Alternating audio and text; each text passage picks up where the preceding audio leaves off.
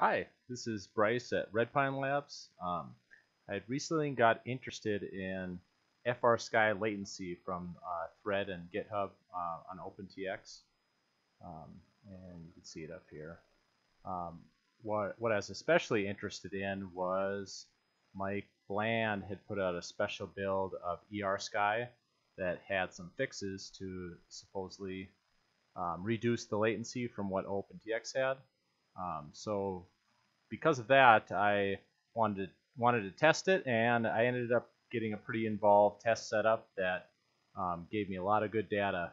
And just wanted to walk through my test setup and then um, show you show you the data. If you just want to see see the data, I'll have it linked down below, um, or watch till the end. So here I'll show my uh, test setup. What I started with was fairly simple. It was a switch that would cause the throttle to go to 50, go to 50%. And then on the flight controller, you would you would see that jump up, and then with the logic analyzer, you could measure the um, D-shot commands, and you can see that um, over on the screen here. These are all D-shot commands that are decoded. And initially, what I had to do was flip the flip the switch and then go and find to where the the throttle on the D-shot command went up. And here we just passed it. A lot of going back and forth, and then you can see right at this moment it goes from 137 idle to 1403.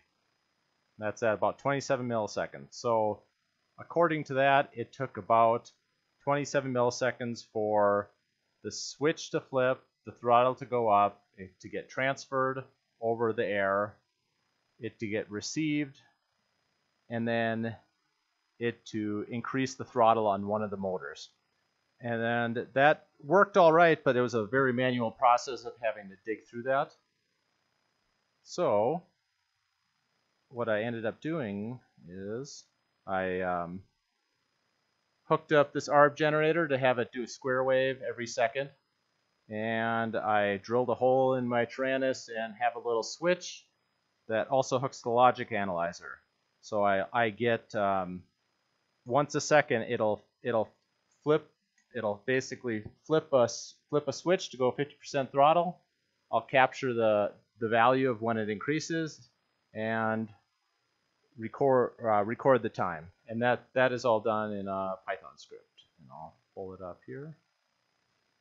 So it it's a simple little Python script that basically runs the this Saleae logic program, um, which works great. So I can do a whole bunch of samples and get a lot of get rid of outliers and get a lot of accurate data.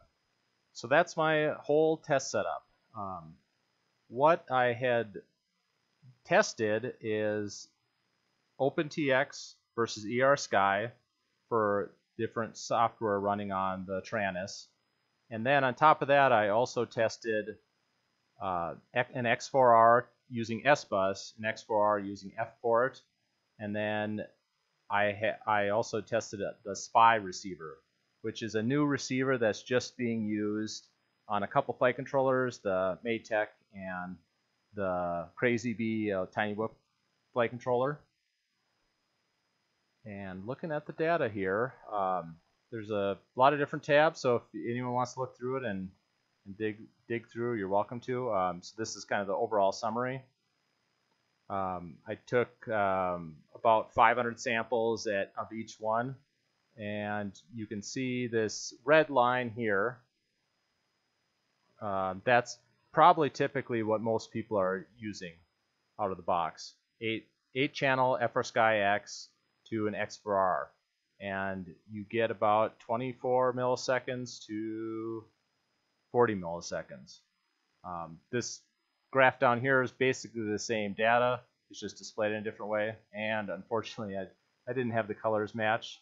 So you could see it's this um, yellow yellow one over here. So you can see 23 to about 40 milliseconds and how many where the samples fell in those bins of the histogram. When I kept using S-Bus and just dropped ER Sky, um, it went to this blue line here. So that was an easy, like, big gain that happened just from moving to ER Sky. And that and that's 24 milliseconds down to 18 and worst case 40 down to 27. So that's a, I mean that's a big big jump. And then I also was surprised that using FPort, which is a FrSky um, Betaflight newer protocol um, that you can flash your uh, X4R and XSR to support that. Um, it's one wire uses telemetry and the RC link over one wire. Um, that actually had um, another big uh, big effect on latency. One comparison is this blue to this orange. That's uh, S-Bus to F-Port. Um, it knocked off roughly four milliseconds of latency just with that change of protocol. And then SPI, you can see, is does the absolute best, um, and that is basically because you're hooked the the SPI receivers hooked directly to the flight controller, and there's no protocol; it's just direct talking to the chip. So that that's the absolute best, and you gain maybe a millisecond or two with that. And the the other interesting thing that I saw is with ER Sky, you end up with this nice rectangular looking distributions where um, OpenTX is having more of this long trailing um, blob going out. Um, and to look at a little closer, um, I'll pull up an example here. So here's ER Sky. This is the latency between the 500 samples, and this is over time. There's a jitter here, and then and that's just the night. This protocol is taking nine milliseconds. So just depends on when that the sample is getting getting brought over when exactly you're going to be. So there's nine seconds is, is somewhat, or nine milliseconds is somewhat expected. Um, when you look at OpenTX, you see this more the nine milliseconds, but then on top of that is this varying varying um, signal.